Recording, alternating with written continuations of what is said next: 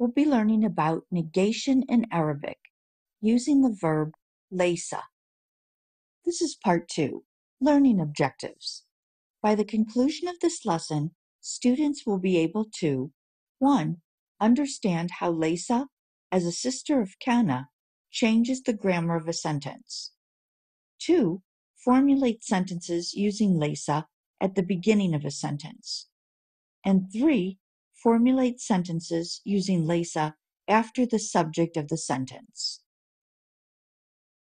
In part one, we learned that the verb laysa is a past tense verb that's used to negate a jumla ismiya. A jumla ismiya is a sentence that begins with a name or a noun. We also learned that laysa is a hollow verb. And we learned how to conjugate laysa. In this lesson, we're going to learn about Laysa and its relationship to Kana. Laysa is a sister of Kana. In Arabic, we say Laysa min akhawat Kana. There are a total of 13 sisters of Kana, including Kana, Laysa, Sara, Bata, Mazala, Mabariha, Mafati'a, Ma'infaq, Madama, Asbaha, Adha, Dhalla, and Amsa. In this lesson, we'll only be looking at Laysa and how it's affected by its relationship to Kana wa Akhawatiha. The other sisters of Kana will be addressed at a different time. So what happens if you put Laysa or any of the sisters of Kana in a sentence? If you put any of these words in a sentence, the predicate, al-khabar, will change from the nominative case, al-marfu'a, to the accusative case, al-mansub. Let's look at an example. Let's take a simple sentence. Al-baytu jadidun. Al-baytu means the house. Jadidun means new. So the house is new. Al-baytu is mubtada or the subject of the sentence. And jadidun is khabar, or information about the subject, also known as the predicate. When we add laysa to the sentence, it becomes laysa al baytu jadidan. Note that the predicate al khabar of an equational sentence changes to the accusative case because of the verb laysa. El Beitu becomes ism laysa, and jadidan becomes khabar laysa. Laysa el Beitu jadidan means the house is not new. You'll notice that the spelling of the word jadid also changes. We add an aleph to the end of the word and then tanween feta because Jadid is masculine in gender and is now in the accusative case. In part one, after learning the conjugation of laysa, we learned that most of the time you'll only use laysa or laysit. Now you're going to find out why. If laysa is placed before a noun or an adjective, it only needs to agree in gender. Let's look at an example. Laysit al-binatu Jamilatin. The girls are not beautiful. Here, the subject, al-mubtada, al-binatu, is feminine and plural. But when we choose our form of laysa, we don't have to use the feminine plural form. We use laysit, the feminine singular form. This is because we're adding it before the subject of the sentence. Arabic dialects will, often use this pattern because it simplifies everything. You'll only have to remember two forms, laysa and laysit, instead of all the other forms of the verb. Let's look at some more examples. In the first example, we have Hamidun, Talibun. Hamid is a student. When we add laysa at the beginning of the sentence, it becomes Laysa Hamidun Taliban.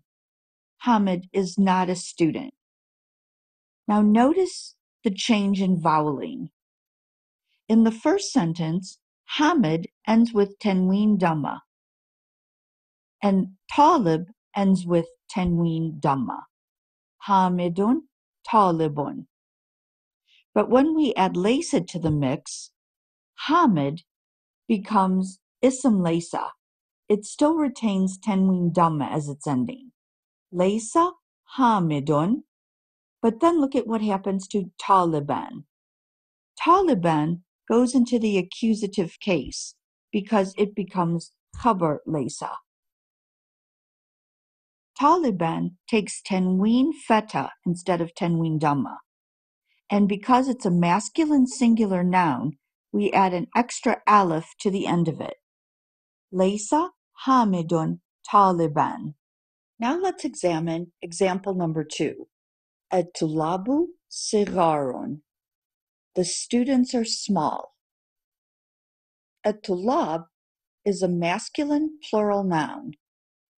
But you'll notice that in the second example in that set, Laysa etulabu sigaran, we add Laysa, which is the masculine singular form of Laysa.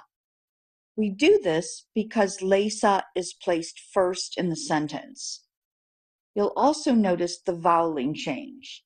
Etulab becomes Ism Laysa, and Sigaran changes to the accusative case because it becomes Khabar Laysa. Because it's a masculine adjective, we add that extra aleph at the end of it. Now let's look at example number three. Aminatu tabibatun. Amina is a doctor. Aminatu is a female name. For that reason, it only takes one vowel marker. In this case, a dhamma. Tabibatun takes tenween dhamma. When we add a form of lesa to the sentence, we have to use lacet because Amina is a female. Here we're putting lacet at the beginning of the sentence. So Amina becomes Ism Laysa and Tabiba becomes Khabar Laysa. Look what happens to Amina. It retains one vowel marker. Laysat Amina to Tabiba Tan. The voweling on Tabiba changes from Tenween Dhamma to Tenween Feta. Because it's a feminine noun, we no longer have to add that extra aleph. It doesn't change the pronunciation.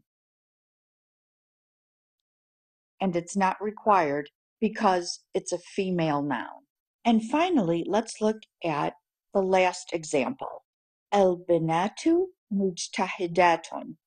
El binat is a feminine plural noun. But when we want to negate the sentence, we add lacet, which is the feminine singular form of the verb, because we're putting it at the beginning of the sentence. So it becomes lacet al binatu mujtahidatin. El binatu retains the dhamma because it becomes ism laysa and mujtahidat becomes khabar laysa. But notice the voweling change. We have tenween kesra instead of tenween feta as we would expect. So you're probably wondering, why did we use tenween kesra instead of tenween feta at the end of the feminine plural noun? Feminine plurals take the same grammatical ending for both the genitive and the accusative cases. Therefore, after lacet, the feminine sound plural in the predicate will take kesra instead of feta. Now let's examine what happens if we put lesa after the subject of the sentence. If we put lesa after a noun or an adjective that's the subject of the sentence, it has to agree in both number and gender. Let's look at our same example, but this time, instead of putting lacet first, we're going to put the subject first. El banatu lasna jamilatin. So instead of using lacet as we did previously, and just using the conjugation for the feminine gender, now we have to use lesna. It's conjugated for both feminine gender and for plural number. So putting the subject first complicates the situation and requires that you know all of the forms of the conjugation that you learned previously. Now let's examine what happens when we add lesa after the subject of the sentence instead of at the beginning of the sentence. Let's look at our first example. Hamidun talibun. Hamid is a student. Here we're going to add lesa after the subject, Hamidun. And it becomes Hamidun lesa taliban. We're still using lesa because Hamid is a masculine singular noun. And we're still changing Taliban because Talib is Khabar Lesa and Lesa is Ocht Kana. In example two, we have a plural masculine subject, etulab. Etulabu sigarun. Here, instead of adding lesa, as we did previously when we put it at the beginning of the sentence, we have to change it to lesu. We use lesu because etulab is a plural masculine subject. Sigaran remains the same.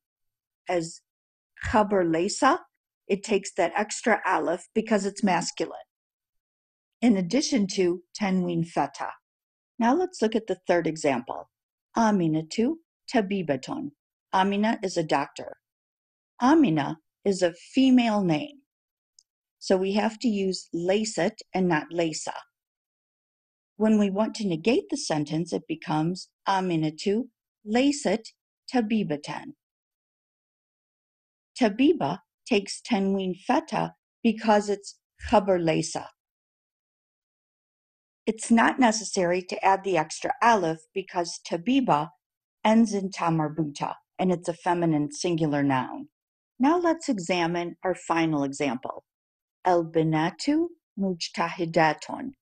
The girls are diligent. If we want to negate this sentence, we can't use lacet at the beginning as we did previously because el binatu is a feminine plural noun. So we need to completely conjugate our form of lesa and we use lesna. So the sentence becomes el binatu lesna mujtahidatin. Remember that we have a vowel change on mujtahidat. Instead of saying mujtahidatan, we say mujtahidatin because mujtahidat is a feminine plural noun. And that brings us to the end of our lesson. If you liked our video, please make sure to subscribe to our channel. Ma salama.